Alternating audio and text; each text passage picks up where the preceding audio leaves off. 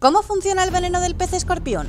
Antes de nada, aclarar que estamos hablando de este pez escorpión, que también se llama pez león, y no este otro pez escorpión, que también es conocido como pez araña. Nuestro pez escorpión está equipado con varias espinas poseedoras de glándulas venenosas que contienen una mezcla de neurotoxinas. La peligrosa y potente toxina es letal para muchas especies marinas, pero nosotros tenemos mejor suerte. En humanos los efectos duran un máximo de dos días y puede causar, además de una dolorosa herida, fiebre, vómitos, calambres y en casos graves insuficiencia respiratoria y circulatoria. No es imposible morir por la picadura de este pez, ya que podría ser alérgico a sus toxinas, aunque no es lo habitual. Así que si has sido picado por él, acude a un hospital sin pensarte dos veces.